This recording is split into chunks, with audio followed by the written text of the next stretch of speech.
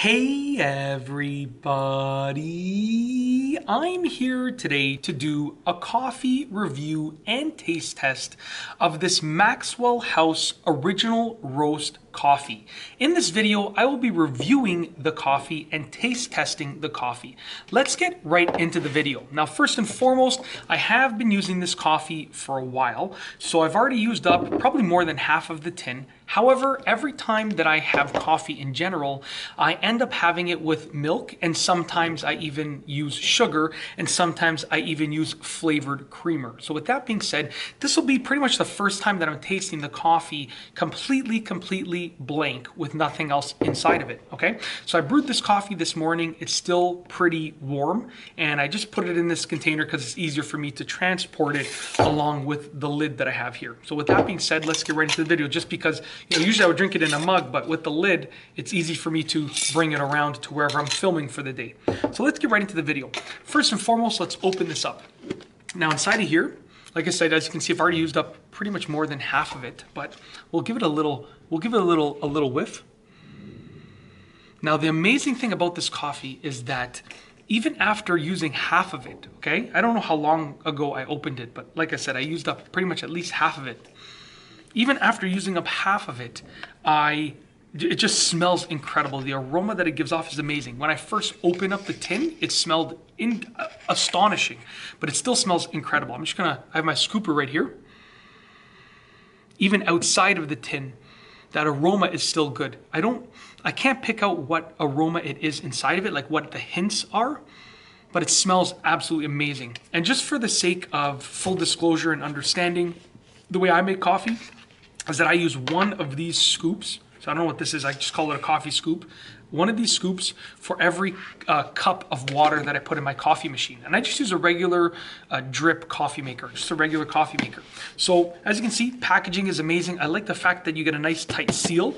Oftentimes I end up picking it up like this, right? So I have a good grip on it, but you know, I like the fact that you have a nice tight seal on it. It keeps it nice and airtight.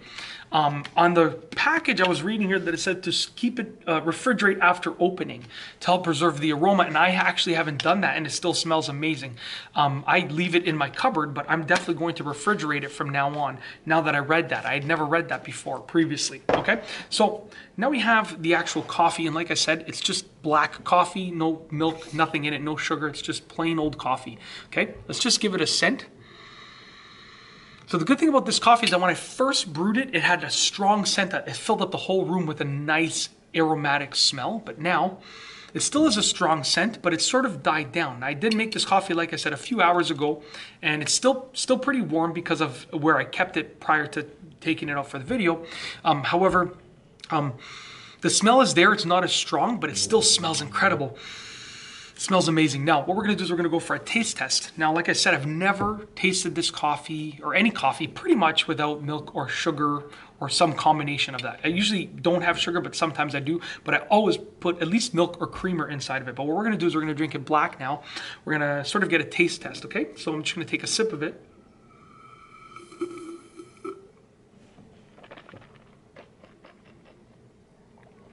So you know what's great about this coffee? even without any milk or sugar in it, it doesn't taste bitter. It still tastes like good coffee. I think after doing this, I'm to consider drinking this coffee just without anything in it. I mean, it's a healthier option.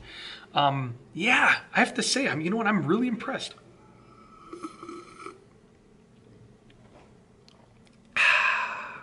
I thought that drinking it without anything in it would, you know, um, cause me to it cause it to taste maybe a little bit bitter or a little bit hard on the mouth, but you know what? It tastes incredible. And you get more of the flavoring of the coffee.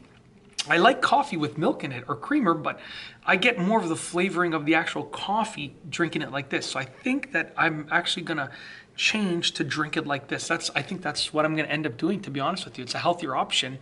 Um, and I was thinking about intermittent fasting, and you can have black coffee as part of intermittent fasting because, as far as I know, it doesn't affect the fast.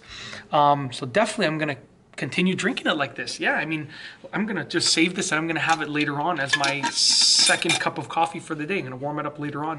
Uh, obviously, when I warm it up, I'm gonna take the lid off and warm it up like this. But yeah. Um, with that being said, that is my taste test and review of this Maxwell House Original Roast Coffee. Like I said, I like the tight seal. You can see I'm grabbing it. This is how I always grab it in the morning.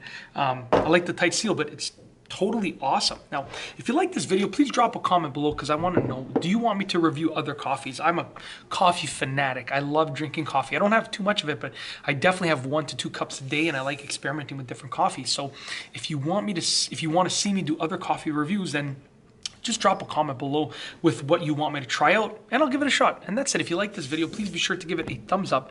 Let me know what you think down below as a comment. And of course, be sure to subscribe for more great videos just like this one. And that's all I have for you today. Thanks for watching.